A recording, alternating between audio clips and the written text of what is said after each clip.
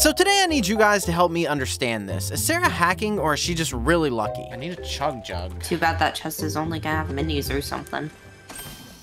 How did you know I was gonna get a mini? So I just assumed she got lucky when she did it the first time, but I was really surprised when she did it a second time. All right, smarty pants. What's this one gonna have? A shoddy. Holy sh Okay, that was actually pretty good. I'm a god. Wow, okay. Find another one, find another one. Oh, there's one right there! All right, there's one more, one more. What's this one gonna be since you can predict it? Uh, movement. I'm so good. How did you... I'm so good. Have you been hacking again? Didn't we have a talk about this? I understand. You want to be good at the game. I want you to guess this chest, and if you guess this one, Well, I don't want to guess it, because now I'm scared. Okay, well, just take a bad guess then. Okay, um, more movement.